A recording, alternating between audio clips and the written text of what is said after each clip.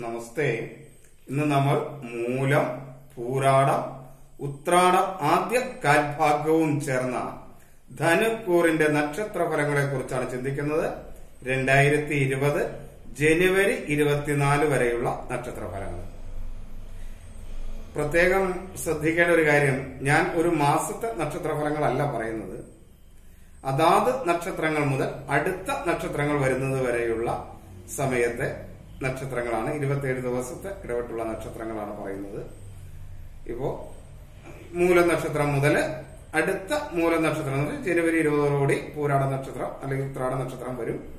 അപ്പൊ ആ ജനുവരി ഇരുപതിന് വരുന്ന ആ കാലഘട്ടം വരെയുള്ള നക്ഷത്രങ്ങളെ കുറിച്ചാണ് പറയുന്നത്. ഒരു നക്ഷത്രം മുതൽ അടുത്ത നക്ഷത്രം വരെയുള്ള കാലഘട്ടമാണ് പറയുന്നത്.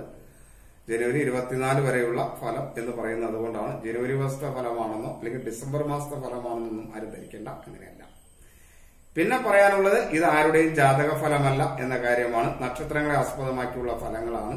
അതുകൊണ്ട് ഈ സംഭവങ്ങൾ അങ്ങനെ തന്നെ നിങ്ങളുടെ ജീവിതത്തിൽ പകർന്നു കൊള്ളണം അല്ലെങ്കിൽ വന്നുകൊള്ളണം എന്ന് നിർബന്ധമൊന്നുമില്ല. കാരണം നിങ്ങളുടെ പേഴ്സണൽ ഫലമല്ല ഈ പറയുന്നത് എന്ന് മനസ്സിലാക്കി വേണം ഇതിനെ സമീപിക്കാൻ. ഞാൻ ഇതെല്ലാ വീഡിയോയിലും പറയുന്നതാണെങ്കിലും പലരും കമന്റ് ഇടുമ്പോൾ ഈ വാചകങ്ങൾ ശ്രദ്ധിക്കപ്പെടാതെയാണ് കമന്റ് ഇടുന്നത് എന്നുള്ളത് കൊണ്ടാണ് ഇതിങ്ങനെ പറയേണ്ടി വന്നത്.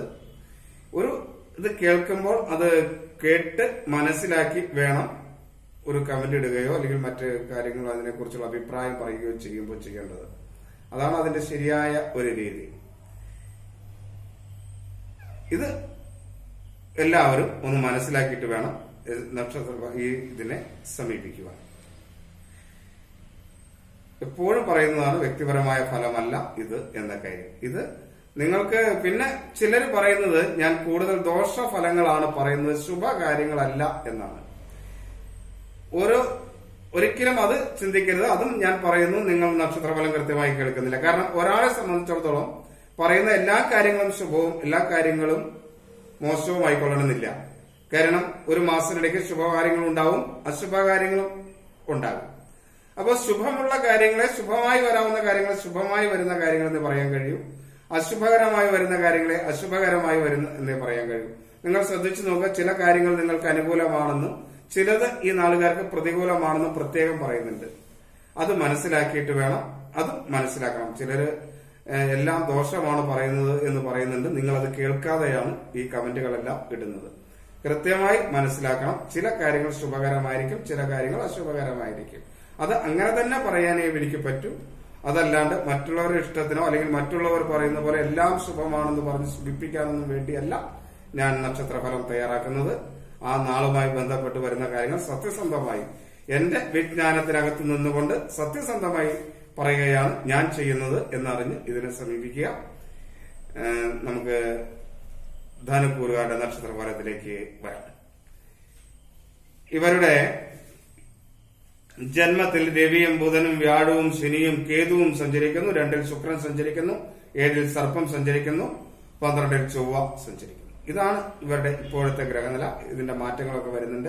വേദാതി ദോഷങ്ങളുണ്ട്. ഇതെല്ലാം പരിഗണിക്കുന്നുണ്ട് ഈ ഫലങ്ങളെ ഇതെല്ലാം പരിഗണിച്ച് നോക്കുമ്പോൾ ഇവരുടെ ആരോഗ്യം എന്ന് പറയുന്ന ഭാഗത്തേക്ക് നോക്കുമ്പോൾ അലസ് ഒരു ആലസ്യവും അനാരോഗ്യവും അനുഭവപ്പെടുന്ന കാലഘട്ടമാണ് ആരോഗ്യ രംഗത്ത് ഇവർക്ക്. തൊഴിൽ രംഗത്താണെങ്കിൽ അമിതമായ ഭാരമുണ്ടാകും. സഹപ്രവർത്തകരുടെ സഹായം ലഭിക്കും. എങ്കിലും മേലുദ്യോഗസ്ഥർ ഇവർക്ക് അനുകൂലമായിരിക്കുകയും ഇല്ല. അതേപോലെ വിദേശ തൊഴിലിലും ഈ കാര്യങ്ങളെല്ലാം അതേപോലെ തന്നെ ആയിരിക്കും സംഭവിക്കുക. ധനപരമായ കാര്യങ്ങളിൽ അനാവശ്യമായ ചിലവുകൾ ഉണ്ടാകും.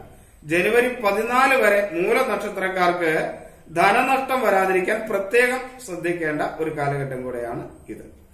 കുടുംബ ജീവിതത്തിലാണെങ്കിൽ ചെറിയ അഭിപ്രായ വ്യത്യാസങ്ങളൊക്കെ ഉണ്ടാകും. എങ്കിലും പൊതുവെ ഒരു കുടുംബാന്തരീക്ഷം സംതൃപ്തമായിരിക്കും. മക്കളുമായിട്ട് ചെറിയ അഭിപ്രായ വ്യത്യാസങ്ങളൊക്കെ ഉണ്ടാകാൻ സാധ്യതയുണ്ട്.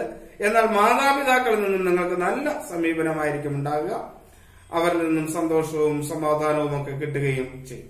എന്നാൽ സഹോദര സ്ഥാനീയമായിട്ട് ചിലപ്പോൾ ചില അഭിപ്രായ വ്യത്യാസമോ കലഹമോ ഒക്കെ വേണ്ടിവരും ഗൃഹ നിർമ്മാണ രംഗത്ത് അനുകൂലമാണ്. പുതിയ വീട് വാങ്ങുന്നതിനും ഭൂമി വാങ്ങുന്നതിനും ഒക്കെ കഴിയും. അതിലെ ഭൂമി വിൽക്കാൻ ആഗ്രഹിക്കുന്നതിനെ സംബന്ധിച്ച് അതിനാണെങ്കിലും കഴിയും. വിവാഹാദി കാര്യങ്ങളൊക്കെ ഈ നാളുകാരെ സംബന്ധിച്ചിടത്തോളം ഈ സമയം അനുകൂലമാണ്. പ്രണയം ഒക്കെ ഉള്ളവരെ സംബന്ധിച്ചിടത്തോളം അത് വിവാഹ തീരുമാനങ്ങൾ എത്തിച്ചേരുന്നതിനുള്ള ഒരു സാധ്യതയുണ്ട്. രാഷ്ട്രീയ രംഗത്തുള്ളവർക്ക് സ്ഥാന നഷ്ടവും ഒക്കെ ഉണ്ടാകാൻ സാധ്യതയുള്ള ഒരു സമയമാണ്. നിയമരംഗത്തുള്ളവർക്കൊക്കെ അമിത ഭാരമുണ്ടാകും. അതേപോലെ ശത്രുത മറ്റുള്ളവരിൽ നിന്നും ഉണ്ടാക്കുകയും ചെയ്യുന്ന ഒരു കാലഘട്ടം കൂടെയാണിത്. വാഹന സംബന്ധമായ തൊഴിലുകൾ ചെയ്യുന്നവർക്ക് പൊതുവെ അനുകൂലമാണ്. വിദ്യാർത്ഥികളായിരിക്കുന്നവർക്ക് വളരെ അനുകൂലമായ സമയമാണ് പഠന കാര്യങ്ങളിലൊക്കെ. പക്ഷെ സുഹൃത്തുക്കളിൽ നിന്നും ദുരിതങ്ങളും പ്രയാസങ്ങളും ഒക്കെ ഉണ്ടാകാൻ സാധ്യതയിൽ സുഹൃത്തുക്കൾ മൂലം പ്രയാസം അനുഭവപ്പെടാൻ സാധ്യതയുള്ളതാണെന്നുള്ളത് കൊണ്ട് ഈ വിദ്യാർത്ഥികളായിരിക്കുന്ന രക്ഷകർത്താക്കൾ കൂടി വളരെ ശ്രദ്ധിക്കണം. ആവശ്യമില്ലാത്ത കൂട്ടുകെട്ടിലേക്ക് ചെന്ന് പെടാതിരിക്കാൻ പ്രത്യേകം രക്ഷകർത്താക്കൾ ഈ നാളുകാരായ മക്കളുണ്ടെങ്കിൽ ശ്രദ്ധിക്കണം. മൃഗസംരക്ഷണ രംഗത്തും കാർഷിക രംഗത്തും അത്ര അനുകൂലമായ സമയമൊന്നുമല്ല ഇത്. ഞാൻ അവസാനം പറയുന്ന ചില കാര്യങ്ങൾ ഞാൻ ആദ്യം പറഞ്ഞതുകൊണ്ട് അത് വീണ്ടും ആവർത്തിക്കുന്നില്ല. ഈ സമയത്തെ പൊതുവായ ദോഷങ്ങൾക്കൊരു പരിഹാരം എന്ന രീതിയിൽ ദേവീ ക്ഷേത്രത്തിൽ നിവേദ്യം നടത്തുന്നത് വളരെ നല്ലതാണ്. കൂടുതൽ പരിഹാരം ചെയ്യണമെന്നുള്ളവർ ജാതകം പരിശോധിപ്പിക്കുക. എല്ലാവരെയും ഈശ്വരൻ അനുഗ്രഹിക്കട്ടെ എന്ന് പ്രാർത്ഥിക്കുന്നു. എല്ലാവർക്കും നമസ്തേ.